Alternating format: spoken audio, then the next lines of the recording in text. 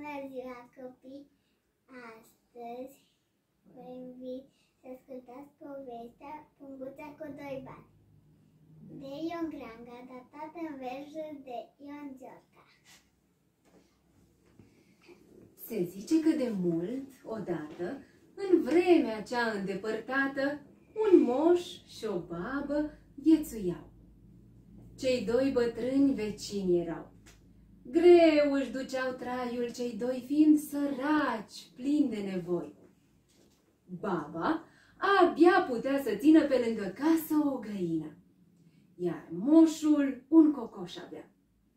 Găina babei se vădea de mare ajutor, dând ouă, făcând pe zi tot câte două. Cu poftă baba le mânca, iar moșului se urca sângele în cap la ea privind și în sec nu mai înghețind. Odată, moșul și-a pierdut răbdările și a cerut un ou zicând. Băi, babă dragă, te rog, nu mă lua în șagă. Mănânci cu atâta nepăsare de parcă ești în târgul care e al lui Cremene. E bine? Să nu te gândești și la mine? Ia dăm și mie niște ouă. Nu multe, ci măcar vreo două să-mi prind și eu pofta cu ele. Dar cum nu? Ouăle acelea nu-s pentru tine. Zise baba. Nu crezi că te întreci cu șaga? Prinde cocoșul, măi, tataie, și dă o mamă de bătaie să-ți facă ouă. La început și eu găina mi-am bătut. Moșul hapsând și înfometat, după bătrână s-a luat. Se aprinse precum o văpaie și îi trase o mamă de bătaie cocoșului nevinovat, pentru că el nu s-a ouat, zicându-i. Na, mai ține două și învață-te ca să faci ouă. De nu, ascultă cum stă treaba. Nu mai mănânci tu pe degeaba grăunțele la casa mea. Pleacă și du-te unde i vrea. Cocoșul, de cum a scăpat din mâna lui, a și plecat. Mergând așa la întâmplare, numai ce vede pe cărare, chiar într-o urmă de căruță, doi bani aflați într-o punguță. Cocoșul îndată a luat pugu, punguța în glonț și a plecat spre casa moșului grăbit. Însă pe drum s-a întâlnit cu un boier care avea niște cucoane alăturea. El zise către vizitiv. Oprește aici, căci vreau să știu ce are în clonț cocoșul acel. Ia fugi și vezi ce e cu el. Sluga a prins cocoșul îndat și apoi punguța i-a luat din clonț, dându-i boierului ce-o puse în buzunarul lui, strigând slugii poruncitor. Haide, dă bice cailor. Cocoșul atunci s-a mâniat, după trăsură s-a luat, cucurigând cu supărare și cu năduf nevoie mare. Cucurigu boierman, dați punguța, nu fiți tâlhar. Doi bănuți se află în ea, iute dați punguța mea. Boierul atunci strigă furios la vizitiv. Stai, dă-te jos și ia cocoșul cel în mână și îl zvârle în acea fântână. Sluga îndată a făcut așa precum i s-a cerut. Cocoșul nu s-a înspăimântat, ci grabnic el s-a apucat să soarbă apa pic cu pic, până n-a mai rămas nimic. Apoi zbură din puța afară, după trăsură fugind iară, cucurigând cu supărare și cu năduf nevoie mare.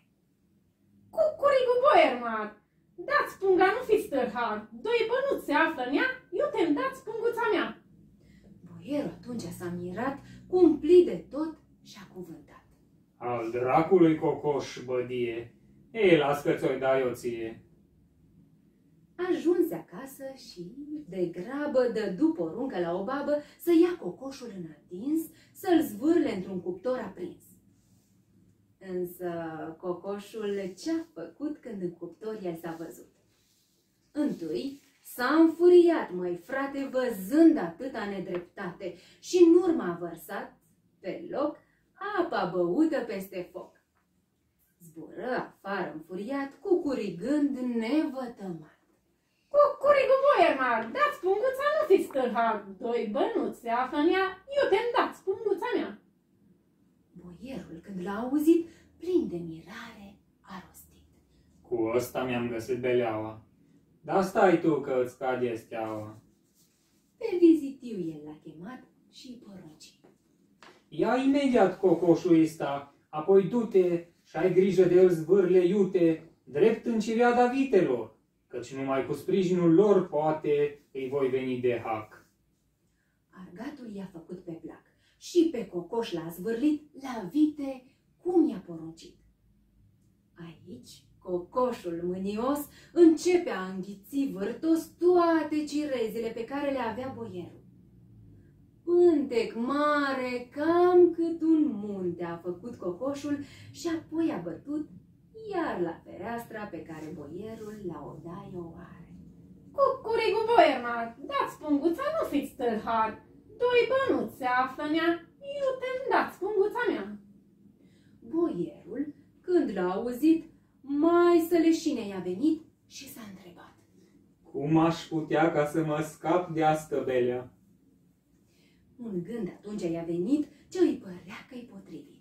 Ia las că-i fac safteaua. Am să-l arunc chiar în haznaua cu galbeni și se va neca atunci când va încerca să înghită galbenii precis. Iute a făcut precum a zis. De o aripă a înhățat cocoșul și l-a aruncat drept în hazna. Cum a gândit? Cocoșul, de cum s-a trezit, între atâția bani, începe să facă doar ce se pricepe. Înghite tot bănetul care se afla în haznaua cea mare. După aceea, iese afară și se grăbește a merge iară drept la fereastra cea pe care boierul la odaie o are. Cucurigu boiermar, dați punguța, nu fiți tâlhar. Doi bănuți se află în ea, iute dați punguța mea.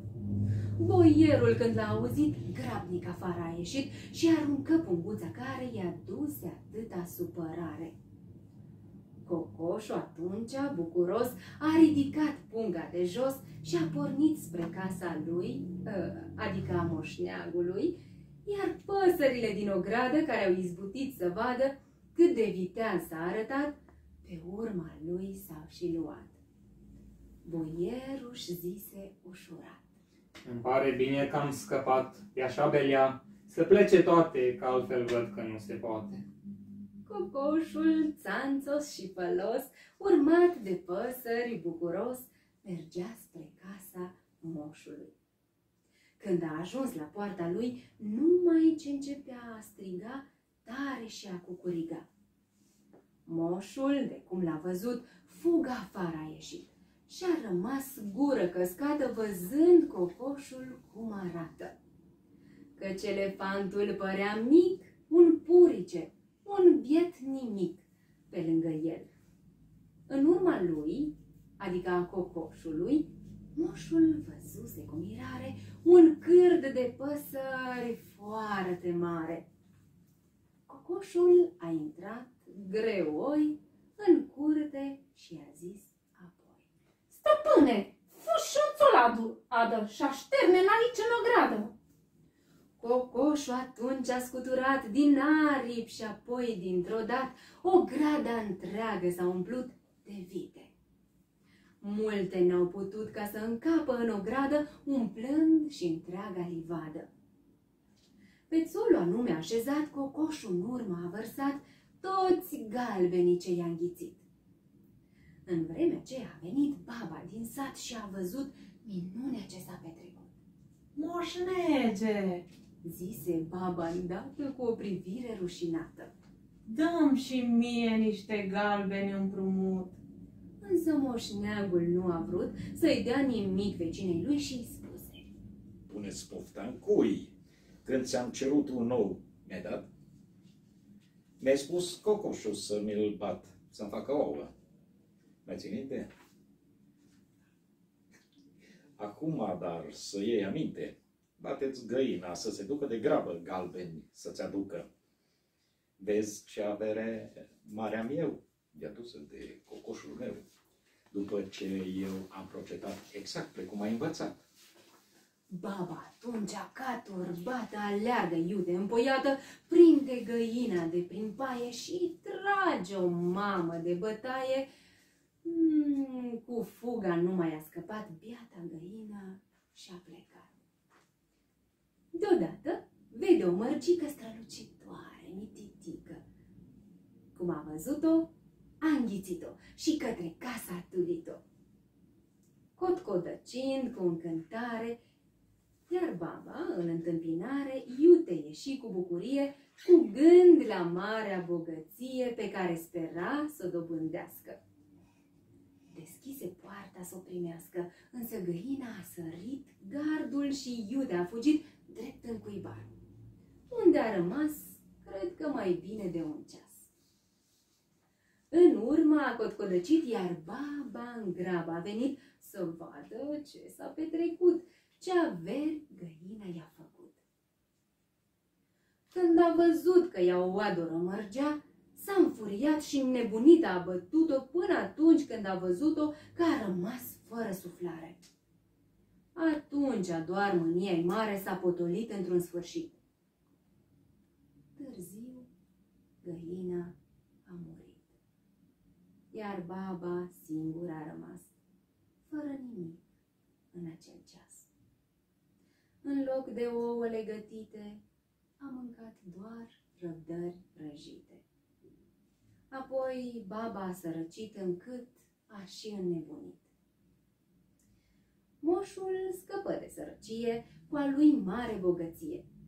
De babă însă s-a îndurat și astfel o slujbă i-a aflat. La păsări ca să robotească și de găini să se îngrijească. Cocoșului cinste i-a dat moșul, la gât i-a agățat o salbă mare, minunată, din aur doar fiind lucrată.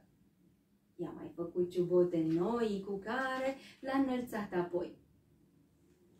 Galbene ele se vădeau și pinteni la călcâi aveau.